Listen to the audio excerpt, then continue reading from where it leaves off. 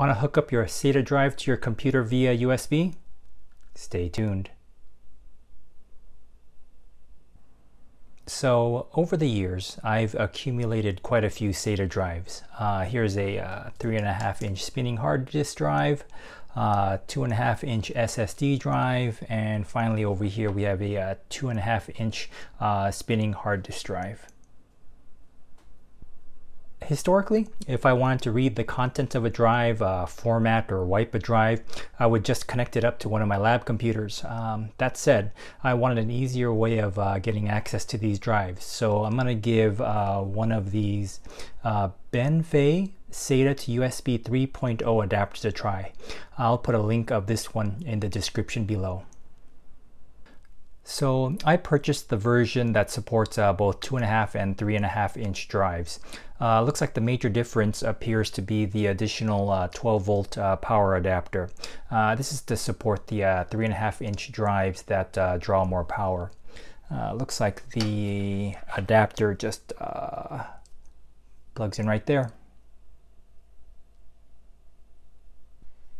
And these uh, SATA drives are usually connected up via two cables. So the uh, smaller one is for the data and the larger one is for the power.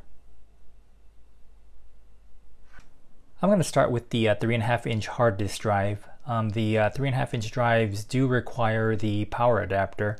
I'm going to be using my Windows 10 laptop with uh, USB 3.0. Okay, first let's plug in the adapter. It only goes in one way because of the way it's keyed. Next I'm going to plug in the power adapter.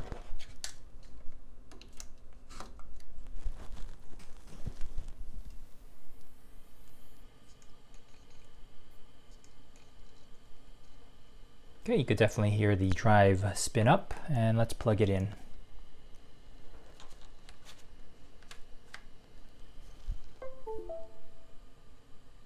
Okay, sounds like Windows recognized the drive. Let me pan up just real quick.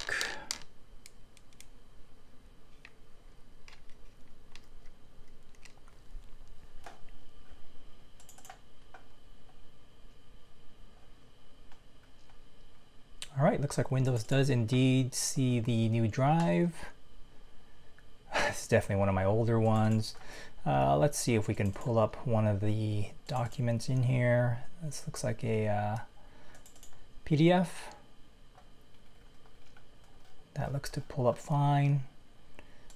And let's copy some files onto it.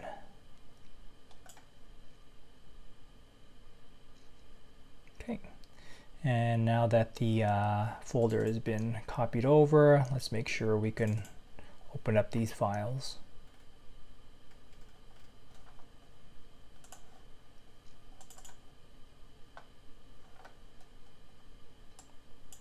Okay, initial test looks good. Let's eject the drive.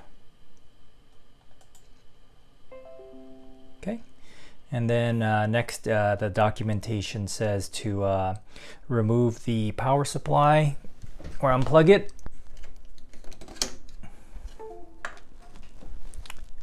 And uh, unplug it from USB.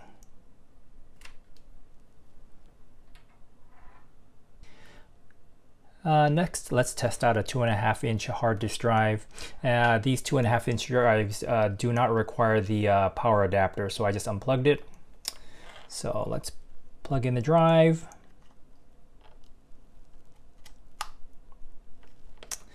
And plug it in.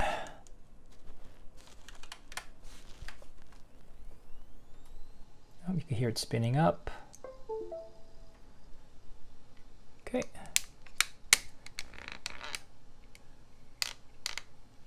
Okay, looks like Windows did indeed recognize the drive again. Let's check it out.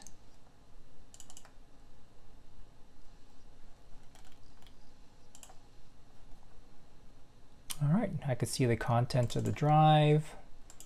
Let's see, let's check out some logs. Looks like the uh, graphics logs.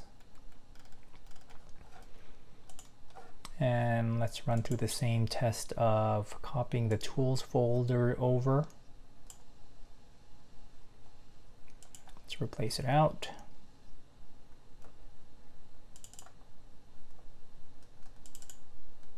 Oops, same deal. Looks like we could pull up the file. And also there was a uh, PNG. Looks good. Uh, let's eject the drive.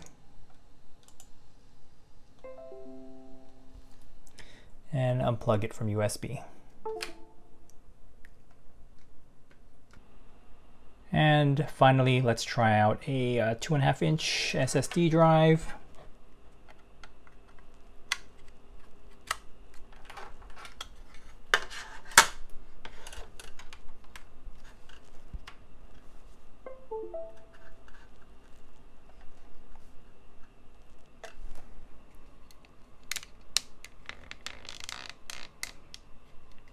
And looks like this one has multiple partitions on it. Uh, let's just make sure that we're able to access some files. Got some logs.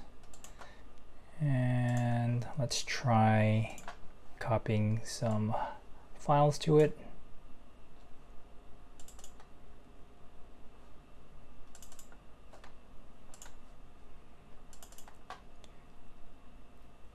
Okay, the files are also accessible.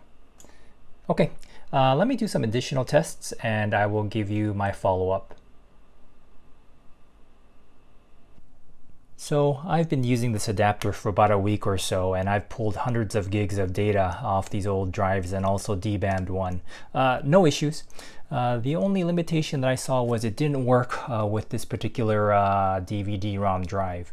Uh, that said, I, I, don't know if that's by design, but other than that, uh, worked perfectly. no issues and extremely easy to use. Um, all right, if you happen to like this video, uh, please consider clicking like and becoming a subscriber. Thank you.